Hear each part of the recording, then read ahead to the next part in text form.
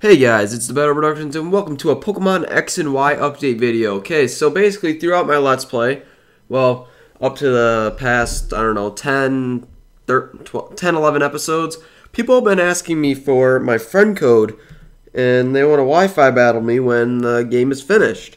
And I was like, okay, cool. But there's been quite a few of people that been asking for my friend code on different videos and I was like, eh, great. So... I was like, you know what? I want to add everyone on my regular 3DS, not my 3DS XL, because I'm not planning on battling with that just yet. But uh, if I do, I'll probably add the friend code on the screen right now, because I'll have my regular 3DS friend code on the screen right now.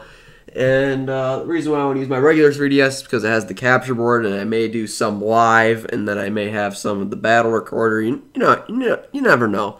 So yes, like I said, it will be at the end of my Let's Play and I'll be doing uh yeah I'll be doing that. And uh, yeah, I pre-recorded up to three gyms, and uh, I have five more to go, and then the Elite Four, and then I'll probably battle with my team for a little bit, and then like my in-game team, and then I am basically going to start EV training some Pokemon because I heard it's pretty easy. Like there's that super training thing you can do, which I never really showed off in the game just yet, but I'm probably going to show that at the end of the game. Just those little features down on the touchscreen that have other little mini games and stuff. Yeah, I'll probably be covering that at the end of the Let's Play.